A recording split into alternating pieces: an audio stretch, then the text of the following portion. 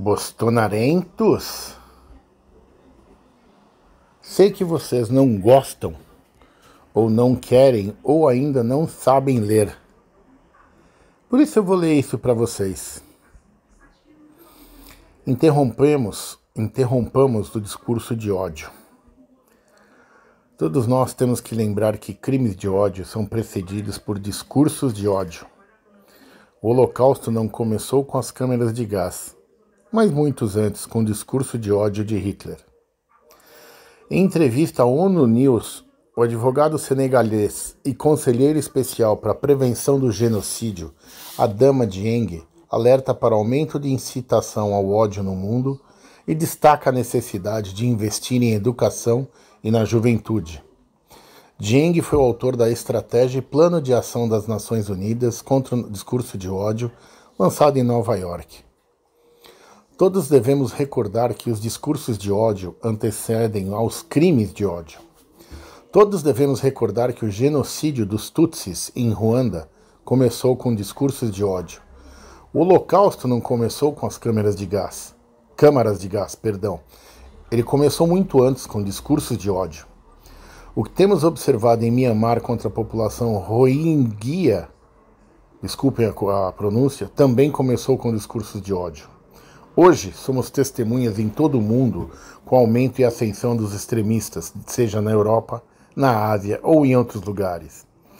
Quando vemos o crescente aumento de grupos neonazistas e grupos neofascistas, quando vemos a maneira como imigrantes e refugiados estão sendo tratados, como são humilhados, precisamos fazer esforço para lidar com esse discurso de ódio. Nós temos que ter em mente que as palavras matam Palavras matam tanto quanto balas. É por isso que nos precisamos fazer todos os esforços possíveis para investir na educação, para investir na juventude, para que a próxima geração possa entender a importância de viver juntos, em paz. Precisamos fazer todos os esforços para que os ataques, como os temos visto em Sri Lanka, quando igreja foram, igrejas foram atacadas, como ocorrido em Nova Zelândia, o que vimos em Pittsburgh, tudo isso sem precisa, tudo isso precisa acabar. E para deter isso, precisamos investir mais na mobilização da juventude. Nós precisamos usar a palavra para que ela se torne uma ferramenta de paz e o amor, uma ferramenta para aumentar a coesão social e a harmonia em nosso mundo, ao invés de ser usada como ferramenta para cometer genocídio e crimes contra a humanidade. Conforme reportagem publicada em 7 de fevereiro de 2023, no ano de 2022, mais de 74 mil denúncias de crimes envolvendo o discurso de ódio pela internet foram encaminhadas para a Central Nacional de Denúncias de Crimes Cibernéticos da SaferNet, Organização de Defesa de Direitos Humanos e Ambiente Virtual. Entre os crimes relacionados ao discurso de ódio, o que mais cresceu foi a xenofobia, que é o preconceito, a intolerância ou violência contra estrangeiros ou determinado povo a intolerância religiosa que aparece na segunda posição. Conforme, perdão, conforme levantamento feito pela SaferNet, as denúncias de crimes de ódio na internet tendem a apresentar maior crescimento em anos de eleição.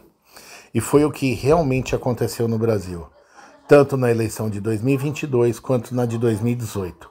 Houve um aumento expressivo de crimes motivados pelo discurso de ódio.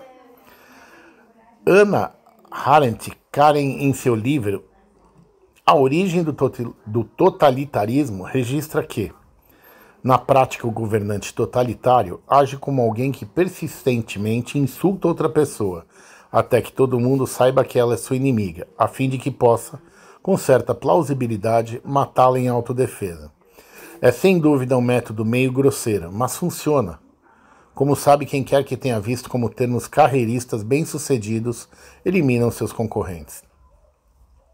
A introdução da noção de inimigo objetivo é muito mais decisiva para o funcionamento dos regimes totalitários que a definição de ideologia das respectivas categorias. Se fosse apenas uma questão de odiar os judeus ou os burgueses, os regimes totalitários poderiam, após cometer um crime gigantesco, como que retornar às regras normais da vida e do governo. Conceito de oponente objetivo, cuja identidade muda de acordo com as circunstâncias do momento, de sorte que, Assim que é uma categoria liquidada, pode declarar-se guerra a outra. Corresponde e é exatamente a situação de fato reiterada muitas vezes pelos governantes totalitários. Isto é, que o seu regime não é um governo no sentido tradicional, mas um movimento cuja marcha constantemente esbarra contra novos obstáculos, que têm que ser eliminados. O começo do regime totalitário na Alemanha ocorreu com um programa de escolha de quem deveria viver. Em 1939, Hitler lança o seu programa de eutanásia para os doentes mentais inválidos. Depois são escolhidos os judeus e os ciganos.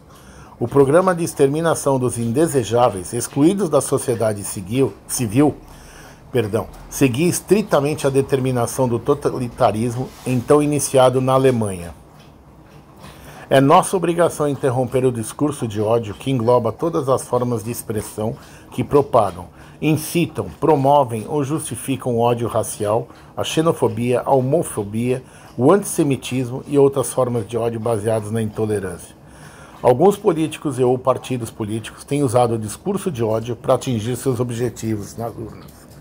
Não alimente o ódio. Use estrategicamente o silêncio. Evite ataques pessoais que desumanizam pratique diálogo e tenha empatia. Não reproduza estereótipos e preconceitos. Denuncie nos canais apropriados. Não promova cancelamento ou linchamentos virtuais. Silencie. Não generalize ou desqualifique o argumento de quem você discorda. Apoie as vítimas do discurso de ódio na internet.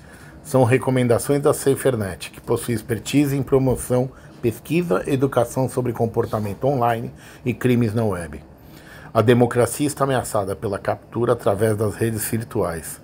Nós tivemos o mundo todo uma captura das redes sociais pela extrema-direita com uma clara finalidade de ataque à democracia, de quebra das regras democráticas, de forma absurdamente competente. E é necessário reconhecer isso. A extrema-direita primeiro diagnosticou e depois capturou todas as redes sociais. O ódio, o preconceito estão cada vez mais enraizados e escancarados nas relações cotidianas na web e na vida offline. São construções discursivas nos comentários das notícias e até em situações aparentemente banais do cotidiano. Interrompamos o discurso de ódio. É o que se deseja e espera. Antônio Vieira Salles.